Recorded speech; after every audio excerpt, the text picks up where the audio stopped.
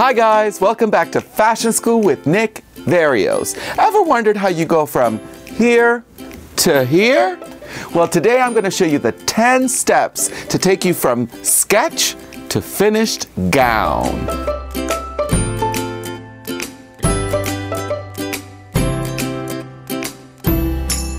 Okay, so the very first step in coming up with your design is the sketch.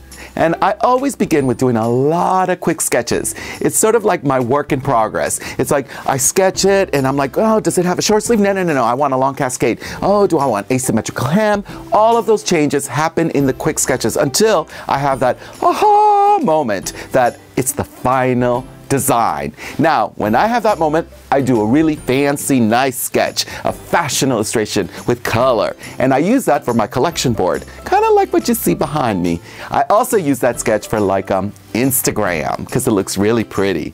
All right, next step, draping. So here we are, step two, draping. So this is the drape of my sketch. And a lot of you will be familiar with this because this is an example of what I show you in my draping videos. So you'll be like, I recognize that.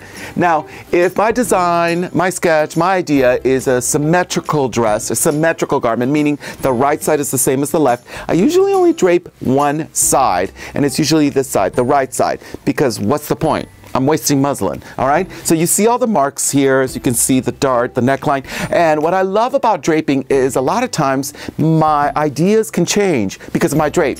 You know, I might have sketched a certain kind of neckline, but then all of a sudden as I'm draping, this is why I love draping. It's so creative. Your, your creativity starts like bubbling when you're draping. So you can be like, you know what? I'm changing that. And so this is what's great about the drape. So, and I drape in the muslin. As you can see, the muslin is very similar similar to my finished fabric, which will eventually be a silk duchess fabrication. All right, so make sure to use something that is similar. So that's why I use the muslin. Now, after the drape, you go on to step three, which is the pattern. So what do I do? I take the pieces of the muslin of my drape and I put them onto pattern paper. So right here is the pattern for this drape.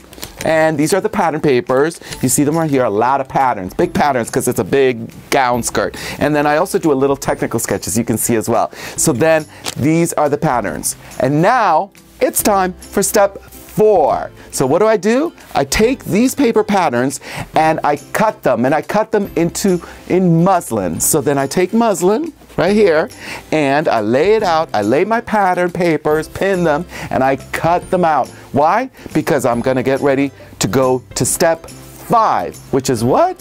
Sewing the first sample sewing the muslin. So here in step five, I've sewn up my muslin right here. So it's a full gown. Remember the drape, I only did half of it, but when I sewed the muslin, the first sample, step five, I did the whole gown. Now in this step, you also make your corrections. You have a fitting, so you fix everything, all right? As you can see, I've marked everything. See the marks? I lowered this empire, I pinched in, I took from the shoulder. Now, ideally, you wanna do that on a real body. You want to have a model that you can fit this muslin in. But if not, you can do it on the form. And that can help you a little bit. But definitely make those corrections. Now, this is why it's so important to actually just use this cheap fabric for your first sample because you have to make all these corrections. Imagine if you had to do all these corrections and you sewed up in a final fabric that is $80, $100 a yard. You'd be like, okay? So that's why we use the cheap muslin for this, okay? After this, you're ready for step six. What is that? You wanna correct your pattern. So what I do is I take my pattern, you see right here, and I fix it. So if I had to take off the shoulders, I take off the shoulders in the pattern. Lower the neckline, lower the neckline in the pattern. Fix it. All right, after you fixed your corrections in the pattern, you're ready for step seven. Now a lot of people think, well, okay, I'm ready to do the finished gown. No, back it down, go, uh, uh, uh. What's step seven? You sew another muslin. You do another sample. That's what I like to do. And sometimes I like to do another one and another one and another one.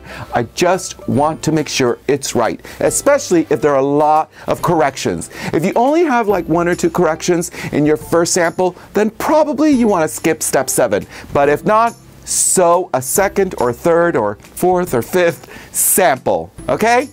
Now you can be ready for step eight. In step eight, we cut in the actual fabric. Yay, finally. so here is my actual fabric that is gonna be used for the final gown. Um, this is Silk Duchess, Duchess Satin. You can see right here, there's a shiny side, a matte side. And this is Silk Zibeline. Very fancy, very expensive. This is why I didn't use this for the first sample. This is the final garment, all right? So you cut the pieces. Here's an example, one of the cut pieces. This is a back. And if you need to do your interfacing, your fusing, you do all that in this step. All right, and once you finish cutting all the pieces in the final fabric for the final gown, then you're ready for step nine. And that is you give it to your seamstress or sewer. If you happen to be your own seamstress or sewer, then you hand it off to yourself. but I like to give it to my seamstress because I need to move on to start creating the next gown, my next sketches. So while she's making magic creating that gown, I'm making future magic. All right? Now you're ready for step 10, the final gown. And here it is. Now you have your final gown. Oh, ain't she pretty? So there you have it. The 10 steps it takes to create a garment. Hope that helped. Thanks for tuning in to Fashion School with Nick Verreos. Now don't forget to like, subscribe, and share. And for more Nick tips and tricks, get my book, A Passion for Fashion. It's available on Amazon.com.